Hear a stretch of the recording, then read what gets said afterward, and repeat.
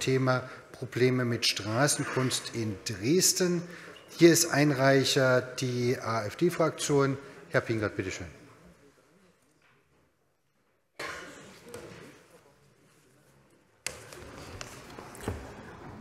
Sehr geehrte Bürger, sehr geehrter Herr Oberbürgermeister, sehr geehrte Damen und Herren Stadträte!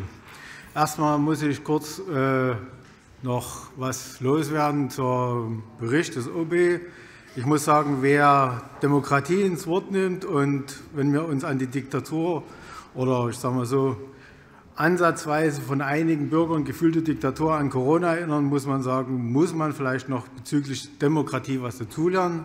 Ebenso muss man dazulernen, was Gedenken betrifft, dass einfach Gedenken versucht wird, erst einmal auszuradieren und dann ja beraten werden soll, um eventuell wieder Gedenken zu ermöglichen und im Moment nur eine Stele dasteht, die ortsveränderlich ist.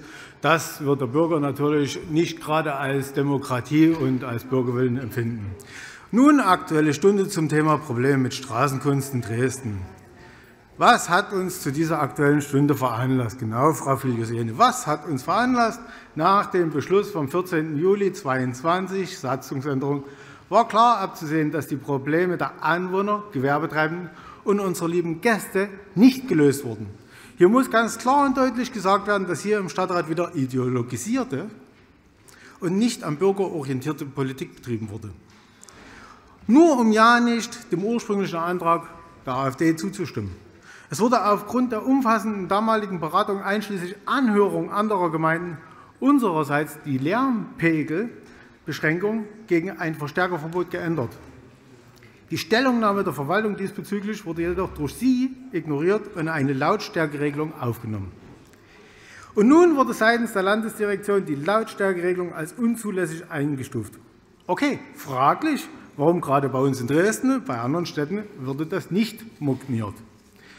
Was sind weiterhin die Probleme unserer Bürger mit der Ausübung der Straßenmusik? Klar, die Lautstärke. Es gibt zu wenig Kontrollen. Lautstärke, wenn Sie jetzt die Problematik angeguckt haben, die Beschwerdelage, da gibt es sogar jemanden, der hat mit einem Kontrabass mit Verstärker gespielt. Hut ab. Immer wieder die gleichen Künstler, die auftreten monotone gleiche Darbietungen. Da gibt es eine Beschwerdelage, die zieht sich durch. Da muss jemand mit der Trommel durch die Gegend ziehen. Wahnsinn. Mit mir tun die Leute leid. Wie sehen die Lösungen seitens der Beschwerdelage aus? Klar, Verstärkerverbot. Zweitens, Beschränkung der Auftritte je Künstler. Drittens, mehr Kontrollen. Und viertens, was die Bürger wünschen, wo ich sage, das ist eigentlich ein Einschritt in die künstlerische Freiheit, Qualitätskontrollen der Darbietung. Warum konnte nicht einfach eine funktionierende Satzung einer anderen Gemeinde als Grundlage übernommen werden? Hm? Aufgrund extrem langsamer Arbeit der Verwaltung haben wir uns im Interesse der Bürger entschieden, wieder einen eigenen Antrag einzubringen und eine Aktuelle Stunde zu diesem Thema anzusetzen. Sie haben das mitgekriegt, dass die CDU ja extra versucht hat oder hat, unseren Antrag weiterhin zu vertagen. Wir sind schon seit Monaten vertagen in den Ausschüssen, damit ja den Bürgern nicht geholfen wird. Dadurch hat die Verwaltung sich herabgelassen durch unsere Aktuelle Stunde und schnell noch vor dieser Sitzung eine Vorlage in den Gremiumumlauf gegeben. Die läuft ab nächster Woche in den Gremien an, und demzufolge wird dann auch unser Antrag mitbehandelt, den man dann eventuell wieder ablehnen kann und trotzdem dem Bürger weiter nicht geholfen ist. Warum, sage ich gleich. Diese Vorlage ist wieder nicht der große Wurf, welcher alle derzeitigen Probleme aufgreift und abstellt. Es wird weiterhin erlaubt, Verstärker einzusetzen und es gibt auch keine Beschränkungen der Anzahl der Auftritte. Ja, Sie haben immer wieder die gleichen Künstler jeden Tag an den verschiedenen Standorten mit dem gleichen Repertoire, was meistens nur ausgewählt gelernt ist und nichts ist, wo man sagen kann, das ist wirklich künstlerisch wertvoll. Gut ist, dass die Mittagspause eingeführt wird und dass, dass wenigstens ab 20 Uhr kein Verstärker mehr eingesetzt werden darf. Ja, eigentlich wollte ich gerne, dass wir jetzt nach dieser Aktuellen Stunde uns mit unserem Antrag beschäftigen. Wir haben die Verwaltungsvorlage übernommen und haben nur noch die Beschränkung der Anzahl der Auftritte der Künstler pro Woche mit aufgenommen, weil das wirklich ein Wunsch der Bürger, der Gewerbetreibenden und der Gäste ist. Das wurde uns seitens der Fraktion auf Antrag der CDU verwehrt wiederum. Demzufolge werden wir demnächst wieder hier stehen und wieder über die Satzung der Straßenkunst diskutieren. Vielen Dank für Ihre Aufmerksamkeit. So, wir steigen ein in die Fraktionsrunde. FDP wird das Wort gewünscht? Nein. Ähm, dann Freie Wähler, Freie Bürger, Frau Dagen.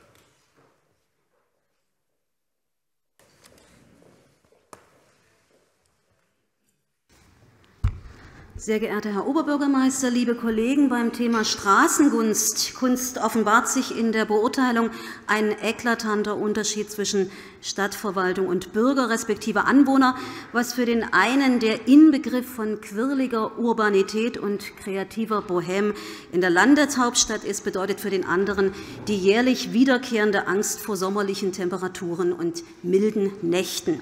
Denn erst dann liegt das Thema wieder auf dem Tisch und der Bürger uns in den Ohren, und ich meine, wie recht er damit hat. Ich zitiere mal aus einem Schreiben, was an mich gerichtet war, an Sie vielleicht auch. Als Mieter einer Vonovia-Wohnung in der Hauptstraße weiß ich aus leidvollen Erfahrungen des letzten Sommers, dass wir auch diesen Sommer wieder hinter der geschlossenen Balkontür wahrscheinlich mit Ohrstöpseln verbringen müssen. Ich meine, wenn Kunstdarbietung mit Ohrstöpseln begegnet werden muss, ist entweder die Darbietung zu minderwertig oder eben zu laut. Ersteres zu bewerten ist erklärtermaßen schwer und nur mit auferlegten und zu erfüllenden Kategorien zu begegnen. Wer möchte das schon von uns entscheiden? Letzteres, zumeist persönliche Befindlichkeit, die allerdings deshalb nicht minder einzuschätzen ist. Es gibt nicht umsonst den Begriff der akustischen Umweltverschmutzung.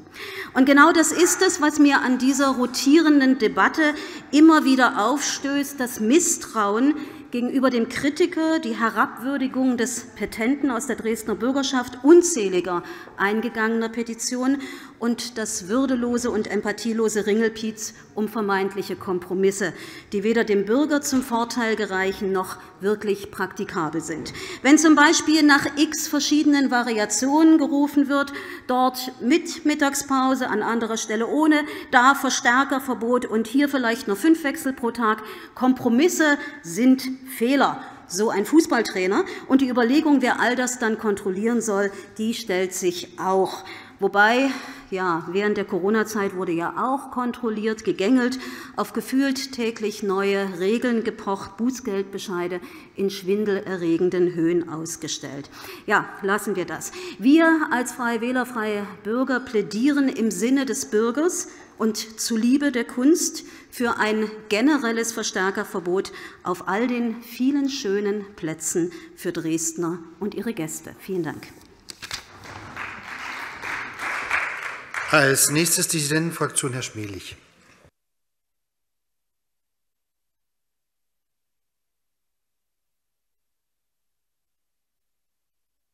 Sehr geehrter Oberbürgermeister, werte Kolleginnen und Kollegen! Tja, und täglich grüßt das Murmeltier. Wenn nicht täglich, so zumindest alljährlich, haben wir dieses Thema auf dem Tisch. Allerdings äh, wenn ich die beantragte Fraktion äh, betrachte, da fällt mir nicht so ein possierliches Tier wie das Murmeltier ein, sondern eher die falsche Schlange, die mal wieder versucht,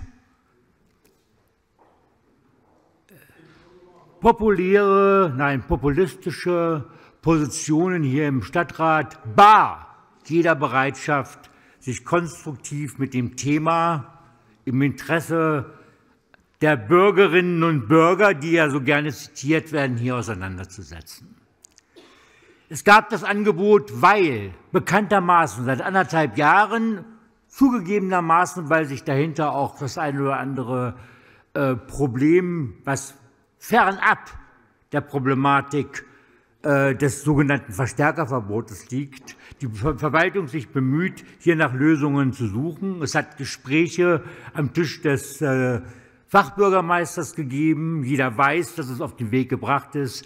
Die AfD hat sich selbstverständlich in Hinblick auf äh, die, den bevorstehenden Wahlkampf nicht dazu bewegen lassen, zu sagen, lassen Sie uns das nachher noch mal unter dem Gesichtspunkt auch der Vorschläge der Verwaltung gemeinsam besprechen. Nein, es musste heute durchgezogen werden.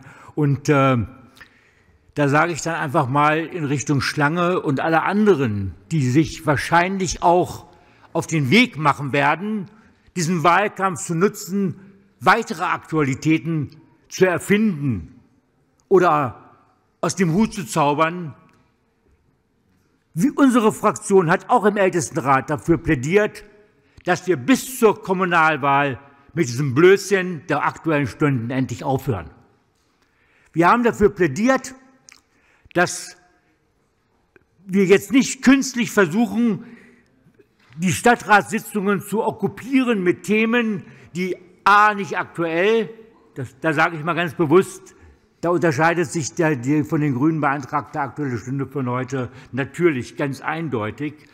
Ähm, natürlich ganz eindeutig, weil es hier tatsächlich um eine aktuelle Frage geht, doch aber nicht bei einem Thema, das, das seit Jahren, ich glaube, es ist die elfte Debatte in diesem Stadtrat seit äh, knapp zehn Jahren, die sich mit diesem Thema auseinandersetzt. Also, wir werden uns als Fraktion noch mal dafür einsetzen, dass wir mit diesen, dieser Form von Aktuellen Stunden, die wenig konstruktiv sind und die nicht dazu beitragen, auch wirklich Lösungen herbeizuführen, hier auch weiterhin bis zu dieser Wahl auseinandersetzen. Wir als Fraktion Dissidenten haben darauf verzichtet im letzten halben Jahr und erklären hiermit auch, dass wir keinerlei Aktuelle Stunden bis zur Wahl äh, beantragen werden. Lassen Sie uns lieber gemeinsam die Aufgaben und die vielen Anträge, die dieser Stadtrat noch nicht behandelt hat, so behandeln, dass wir bis zum Ende der Amtszeit dieses Stadtrates auch den Erledigungsbutton drücken können und nicht viele Sachen auch dann noch in die nächste Amtszeit verschieben. Danke. Als nächste Fraktion des Bündnis 90 Die Grünen an der Reihe, Frau Filossine.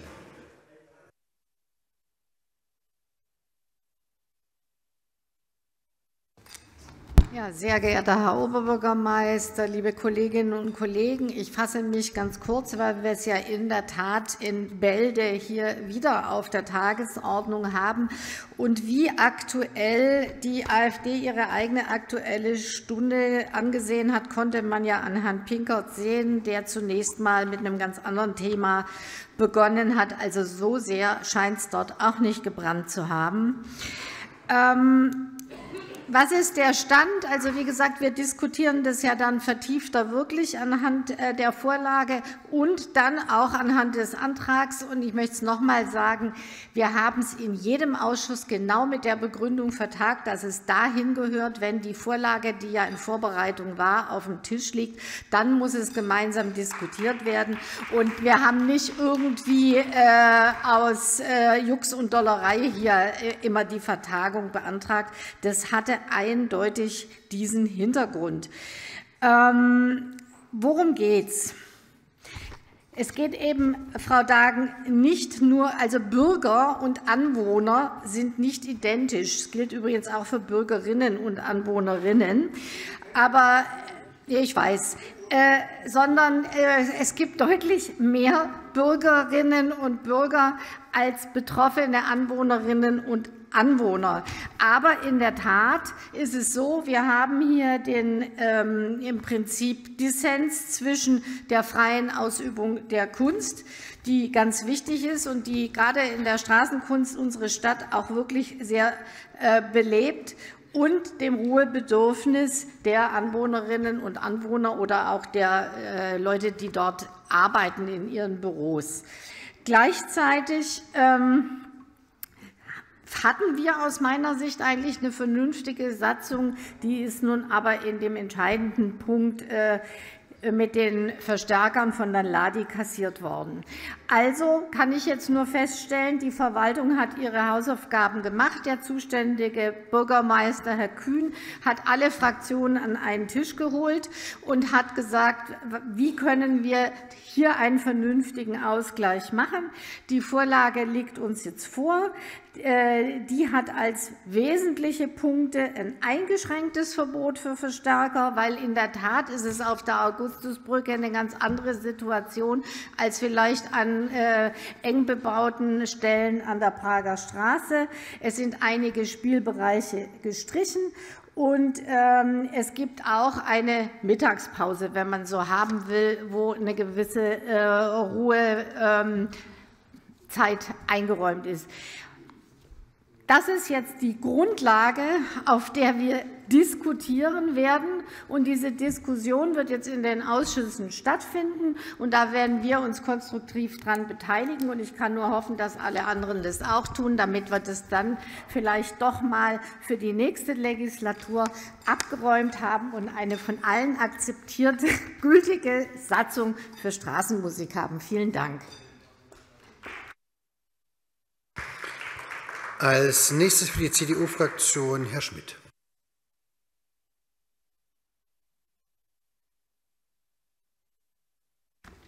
Ja, sehr geehrter Herr Oberbürgermeister, liebe Kolleginnen und Kollegen, liebe Gäste! Die Debatte, die wir heute führen, ist eigentlich unnötig, weil es ist keine aktuelle Debatte, die wir führen. Die Probleme, die es bei der Straßenmusik gibt, sind seit Jahren, kann ich fast sagen, seit Jahrzehnten immer wieder die gleichen. Als am 14.07.2022, also vor 18 Monaten, der Stadtrat die aktuelle Satzung beschlossen hat, habe ich gesagt, also es war eine Mehrheit des Stadtrates, wir haben das damals so nie mitgemacht, habe ich gesagt, wir werden uns zu diesem Thema in dieser Wahlperiode noch mal wiedersehen und das wird so keinen Bestand haben und genau das ist der Fall. Die Landesdirektion hat die Satzung als rechtswidrig eingestuft. Wir haben ähm, Insbesondere war ja die Rechtswidrigkeit begründet mit der Dezibelbeschränkung, die wir abgelehnt haben. Wir haben immer für das Verstärkerverbot plädiert. Ähm, wir haben in den vergangenen Monaten, im letzten Jahr, mehrfach am Tisch des Bürgermeisters äh, zusammengesessen, haben versucht, irgendwo einen Kompromiss auszuloten, der breite Mehrheiten in diesem Stadtrat bündelt. Ich glaube, die Vorlage, die jetzt im Geschäftsgang kommt nächste Woche, könnte in diese Richtung gehen. Ich habe sie mir im Detail noch nie angesehen. Die Presse hat aber ja schon ein paar Sachen berichtet. Ich denke, das geht zumindest in eine Richtung, die ähm, eine breite Mehrheit am Ende auch tragen kann hier im Stadtrat. Ähm, trotz allem muss man sich natürlich die Frage stellen, und da sind wir dann vielleicht doch bei einem aktuellen Problem, warum hat es seit dem letzten Gespräch am Tisch des Bürgermeisters so lange gedauert, bis die Satzung uns vorgelegt wird? So umfangreich ist das Thema nie und das hätte, glaube ich, deutlich schneller gehen können. Dann hätten wir vielleicht jetzt schon eine beschlossene Satzung vorliegen. Wie gesagt, die inhaltliche Debatte werden wir im März hier führen. Nächste Woche geht es in die Ausschüsse und ähm, nach Tages- oder nach Planung ist die äh, Debatte im äh, März in der Stadtratssitzung vorgesehen. Ich glaube, das sollten wir auch schaffen in den Ausschüssen und äh, dann werden wir uns inhaltlich positionieren und damit reicht das, glaube ich, an dieser Stelle in dieser aktuellen Debatte, die keine aktuelle ist. Vielen Dank.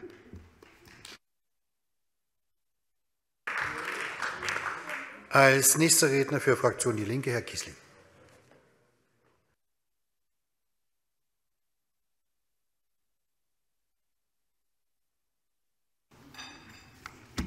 Musik wird störend oft empfunden, dieweil sie mit Geräusch verbunden. Sehr geehrte Damen und Herren, sehr geehrter Herr Oberbürgermeister, während ich mich auf diese Rede vorbereitet habe, habe ich in meinem Computer ganz laut Dario Rossi angemacht. Dario Rossi ist ein Straßenmusiker, der Alltagsgegenstände ausbreitet, Pfannen, Löffel, Eimer aus Plaste umgedreht und darauf trommelt, ganz schnell und ganz laut. Und ich höre das sehr gern. Und für andere wäre vermutlich diese Musik Anlass zu Beschwerden. Beschwerden. Beschwerden überhaupt immer diese Beschwerden. Sie nehmen also diese Beschwerden ganz besonders ernst. Gut.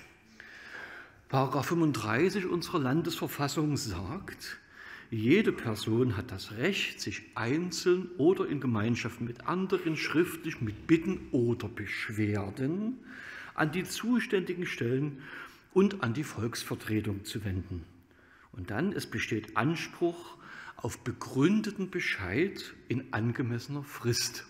Und das würde ich jetzt bitte mal in die Niederschrift aufnehmen und im Rahmen meines Fragerechts als Stadtrat hier die Verwaltung fragen, auf wie viele dieser Beschwerden gab es denn schriftlich einen Bescheid und mit welcher Begründung.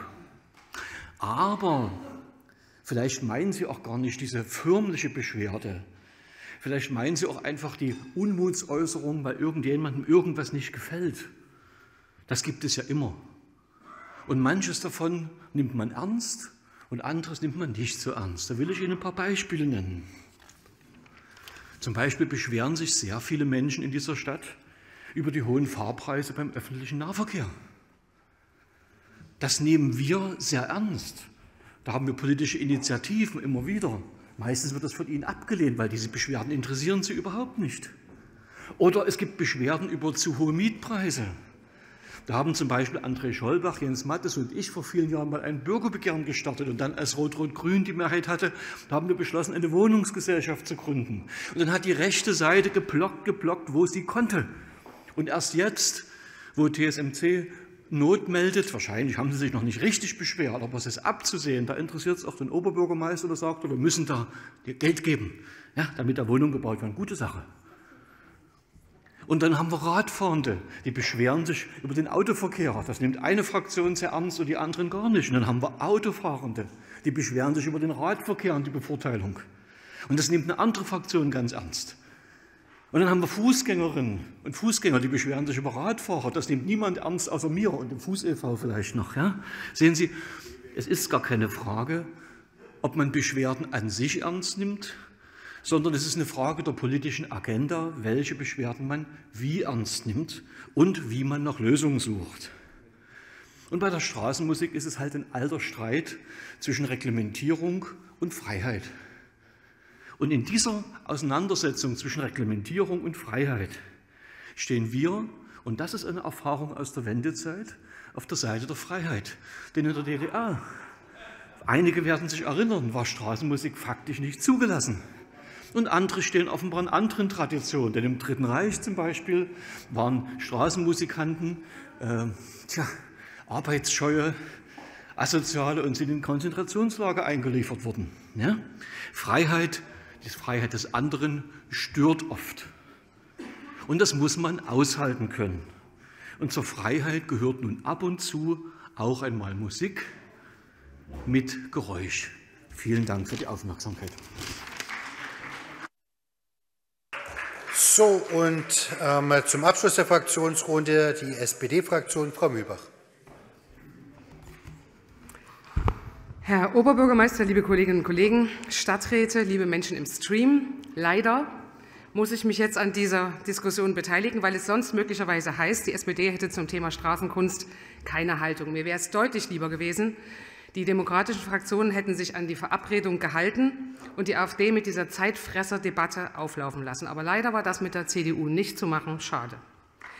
Selbstverständlich ist meine Fraktion an einer Satzung interessiert, die den juristischen Erfordernissen entspricht und gleichzeitig den Interessen aller Beteiligten und Betroffenen Rechnung trägt. Ich fürchte allerdings, liebe Frau Dagen, den hörsensiblen Bürger aus der Vonovia-Wohnung der Hauptstraße werden wir niemals befriedigen können.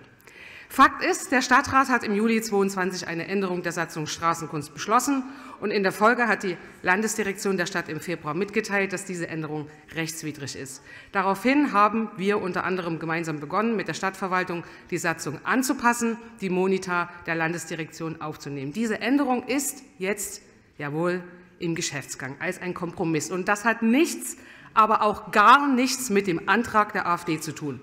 Warum also müssen wir uns heute in einer aktuellen Debatte, Sie haben recht, liebe Kollegen, die keine ist, mit diesem Thema befassen? Es geht der AfD mal wieder um nichts anderes als so zu tun, als sei sie die Einzige, die sich um die Sorgen der Menschen kümmert. Nein, das ist sie nicht. Das zeigt sich übrigens in ihrer grenzenlosen Inaktivität in wirklich jeder Sitzung, unter anderem des Kulturausschusses. Wären Sie nämlich wirklich an den Interessen der Menschen und deren Problemen interessiert, dann würden Sie unsere Zeit nicht mit sinnlos Debatten verschwenden, sondern dafür sorgen, dass wir mit den Themen hier vorankommen, die jetzt wirklich entschieden werden müssen. Und deswegen höre ich jetzt auf und spende den Rest meiner Redezeit für diese Themen. Vielen Dank.